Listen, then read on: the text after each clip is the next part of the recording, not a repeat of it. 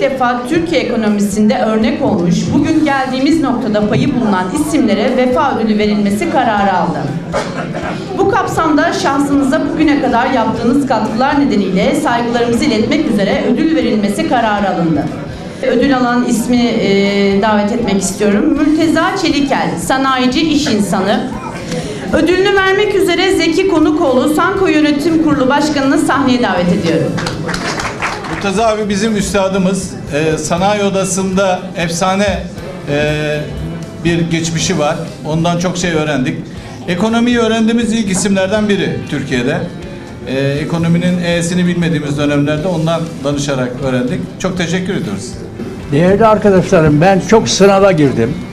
Fakat bu kadar kalabalık bir sınavla muhatap olmadım.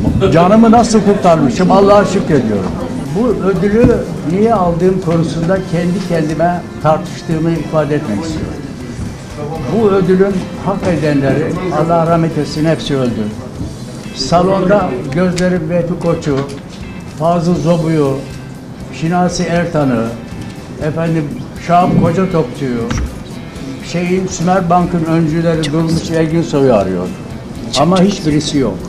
Ama onların katkısı sizleri yarattığı için kendilerine müteşekkir et, müteşekkirim. Allah rahmet diliyor. Ayrıca bir konuyu da ifade etmek istiyorum.